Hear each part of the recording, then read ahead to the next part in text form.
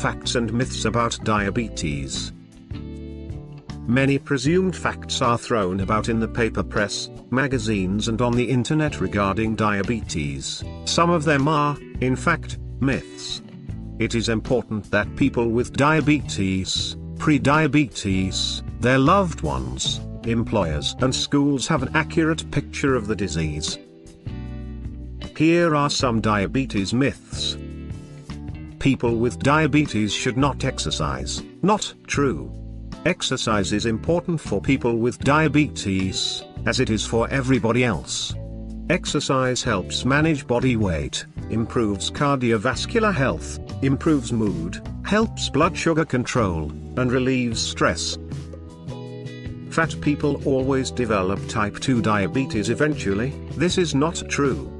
Being overweight or obese raises the risk of becoming diabetic. They are risk factors, but do not mean that an obese person will definitely become diabetic. Many people with type 2 diabetes were never overweight.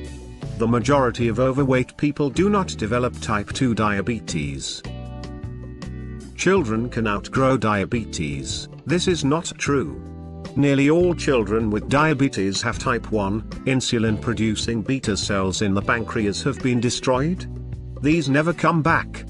Children with type 1 diabetes will need to take insulin for the rest of their lives, unless a cure is found one day. Don't eat too much sugar, you will become diabetic. This is not true.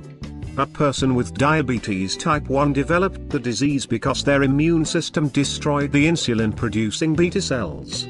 A diet high in calories, which can make people overweight obese, raises the risk of developing type 2 diabetes, especially if there is a history of this disease in the family. Diabetes diets are different from other people's. The diet doctors and specialized nutritionists recommend for diabetes patients are healthy ones, healthy for everybody, including people without the disease. Meals should contain plenty of vegetables, fruit, whole grains, and they should be low in salt and sugar, and saturated or trans fat. High blood sugar levels are fine for some, while for others they are a sign of diabetes. High blood sugar levels are never normal for anybody. Some illnesses, mental stress and steroids can cause temporary hikes in blood sugar levels in people without diabetes. Anybody with higher than normal blood sugar levels or sugar in their urine should be checked for diabetes by a healthcare professional. Diabetics cannot eat bread, potatoes or pasta, people with diabetes can eat starchy foods. However, they must keep an eye on the size of the portions. Whole grain starchy foods are better, as is the case for people without diabetes.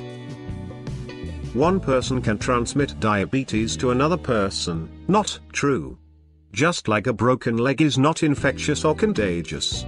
A parent may pass on, through their genes to their offspring, a higher susceptibility to developing the disease. If you have diabetes you cannot eat chocolates or sweets. People with diabetes can eat chocolates and sweets if they combine them with exercise or eat them as part of a healthy meal.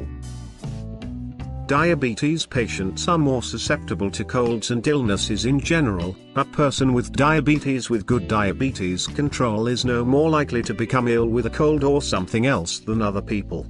However, when a diabetic catches a cold, their diabetes becomes harder to control, so they have a higher risk of complications.